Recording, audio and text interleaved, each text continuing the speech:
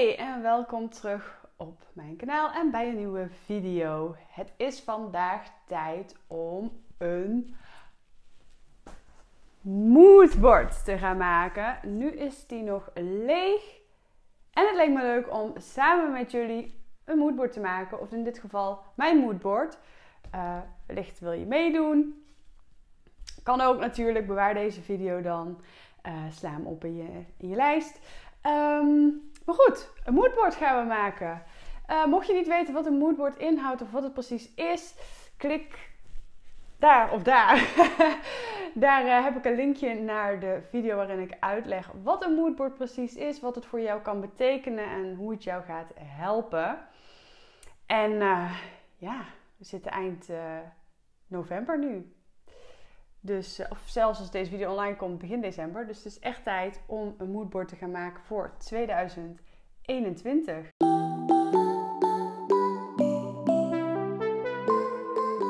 Als allereerst heb je natuurlijk nodig een canvas. Dan heb je natuurlijk nog nodig een schaar en lijm, want je gaat dingen die je ziet uitknippen en opplakken op het canvas. En natuurlijk kunnen tijdschriften niet ontbreken. Heel veel tijdschriften. Ik heb hier eigenlijk voornamelijk de Happiness, omdat ik daar een abonnement op heb.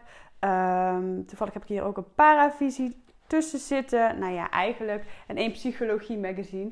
Maar goed, dit is dus ook eigenlijk waarin ik geïnteresseerd ben. En um, wat een beetje aansluit bij wat ik zoek in het leven. Of zoek in het leven. Wat ik graag wil bereiken in het leven. Ik denk dat ik hem op die manier mooi kan uh, vertalen. Dus ik ga al deze magazines door om te kijken waar voel ik nou uh, me goed bij, wat, wat wil ik graag dat er op mijn pad komt. En uh, dat ga ik vervolgens uitknippen. Ik zie al gelijk iets wat ik um, wil meenemen.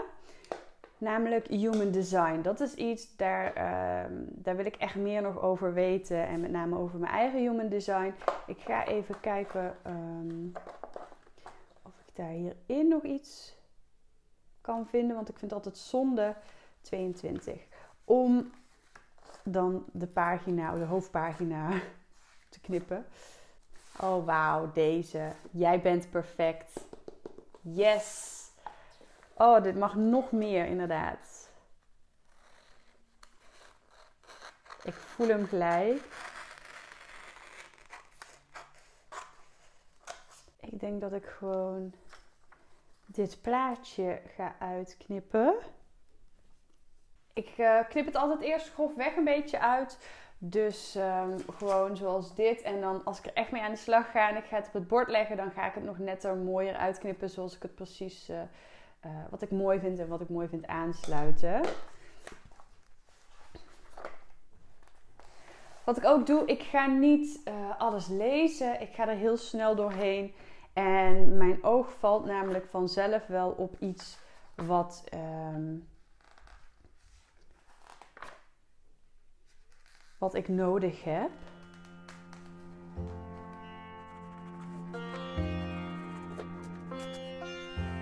Wauw, dit is zo gaaf, jongens. Ik zou zo graag zo door het leven gaan. ja, dat is denk ik toch wel een uh, stiekem verlangen of zo van mij.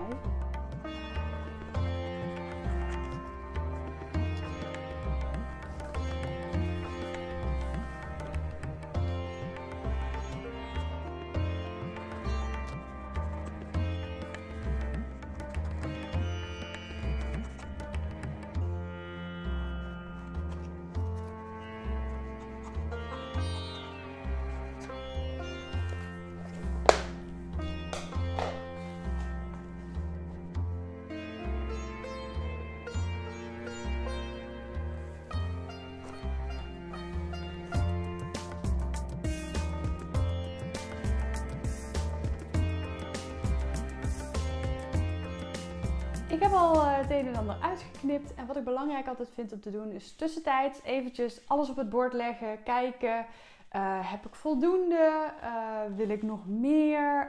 Um, het een beetje sorteren ook. Ik zorg er altijd wel voor dat het per thema een beetje bij elkaar ligt. Vaak merk ik ook echt heel erg in mijn moodboard dat er bepaalde thema's terugkomen.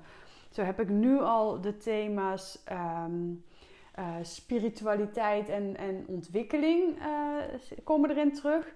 En heel erg het stukje vertrouwen in mezelf, vertrouwen en de verbinding aangaan met een ander.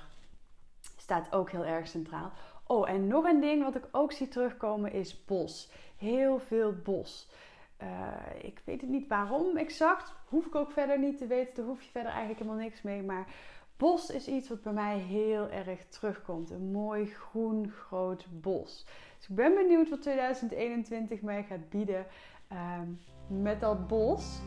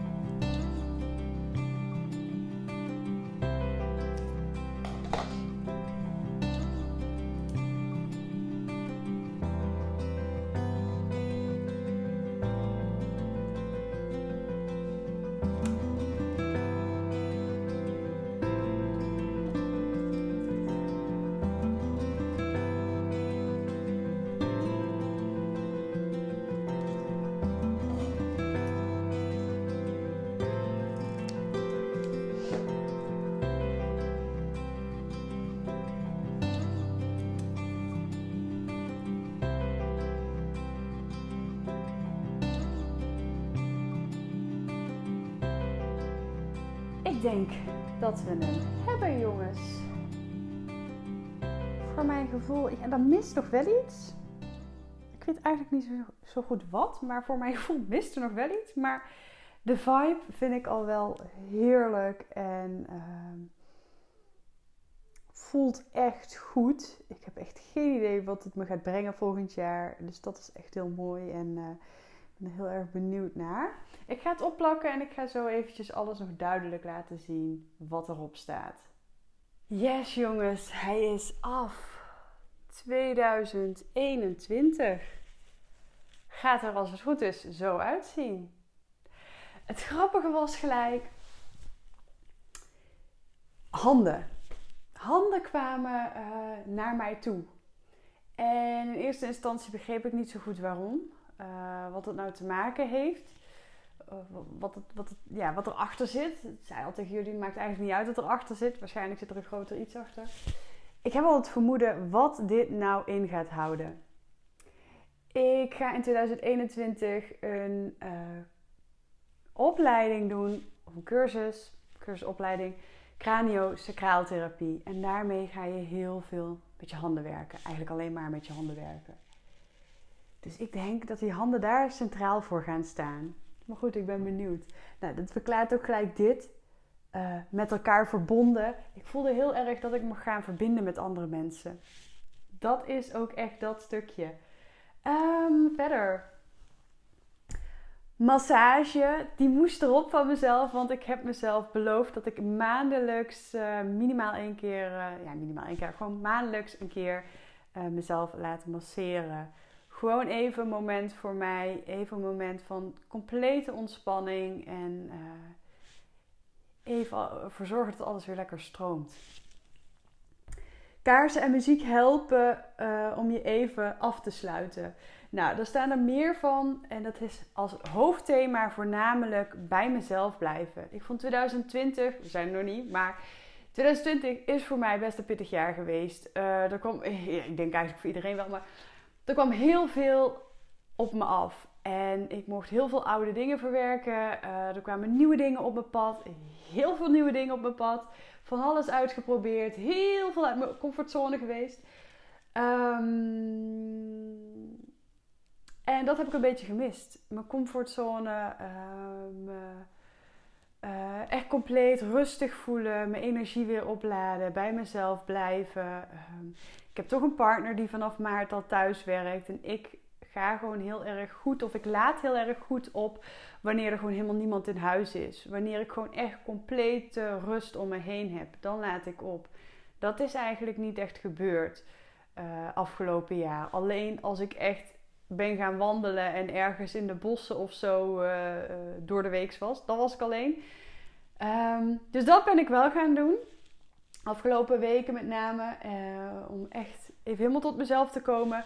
Maar goed, 2021, dat mag echt veel meer. Nog veel meer mag ik bij mezelf blijven. Want ik merk gewoon dat ik dan in mijn kracht sta.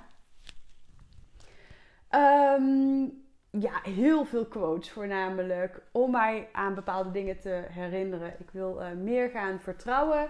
Uh, levensvreugde wil ik lekker weer gaan ervaren. Leven vanuit je hart. Um, steviger staan. Dichter dus bij je gevoel. gevoelens zijn er om te voelen, niet om te beredeneren. wat kost dit? Allemaal vanuit energie alles vanuit energie. Vanuit meer vanuit mijn hart leven. Meer vanuit bij mijn gevoel blijven. Uh, en wat heb ik nodig op dit moment? Wat, wat kost dit mij? Kost dit mij energie of levert het mij iets op? Dat vind ik heel erg belangrijk. En die vraag ga ik mezelf echt. Uh, die gaat echt centraal staan in 2021 voor mij. Die mag centraal gaan staan. Nou, verder wat je ziet, wat ik al zei, human design, daar wil ik meer van weten. Daar wil ik toch echt op ingaan. Een stukje bos ook heel erg. Um, ik weet niet precies waarom. Maar dat mocht voor mijn gevoel heel erg erin terugkomen. Je ziet het ook hier weer verschillende dingen. Uh, met bosachtig iets. Uh, bos vlakbij huis. Nou, ik wil echt heel erg graag verhuizen. En een uh, bos vlakbij. Of wonen in een huis vlakbij het bos. Dat zou echt geweldig zijn. bostherapie. Lijkt me nog steeds ook super leuk om wandelcoaching te geven en te doen. Um, dus misschien dat dat daarin zit. Misschien, ik weet het niet. Uh, ja, gewoon wat bosdingetjes die me aanspraken. Uh, een supermooie vogel uh, kwam ik tegen. Ook weer met een bosvibe. Of bos, ja, bosachtig iets erbij. Vredig stond erbij. Nou, dat heb ik er gelijk bij gelaten. Want dat vind ik ook heel erg mooi. En dat resoneert heel erg. een soort shamaan op Ibiza is dat weliswaar, maar het ging mij gewoon om, het, om de energie die het uitstraalde, om het gevoel wat ik erbij kreeg. Spirituele reis, dat voornamelijk. Vandaar ook deze schelpen, retreat, orakel, dat soort dingen stonden, ja, staan voor mij echt heel erg centraal voor spirituele reis. Ik wil mezelf in 2021 nog meer spiritueel gaan verdiepen, omdat ik merk dat ik daar heel erg mijn kracht uitput. Dat dat mij heel veel energie geeft. En dat ik daar heel erg blij van word. En een stukje verlichting ook ervaar met name. Ik vind het, het leven is...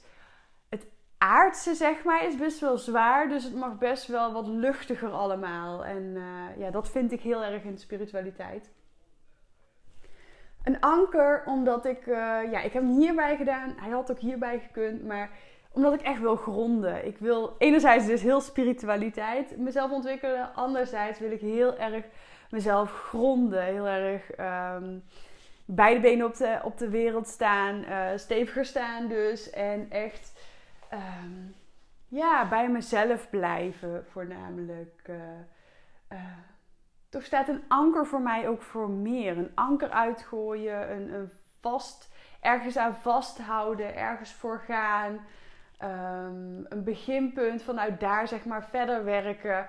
Uh, een anker staat voor heel veel dingen centraal, vind ik. Is het eigenlijk wel een anker? Ik weet niet of dit is toch een anker? voor mij is dit een anker, jongens. Ik heb werkelijk maar geen idee of dit een anker is. kwam ik nu ineens achter. Nou, en Finn, dat is uh, wat het voor mij betekent. En daar gaat het uiteindelijk om. Het maakt niet uit.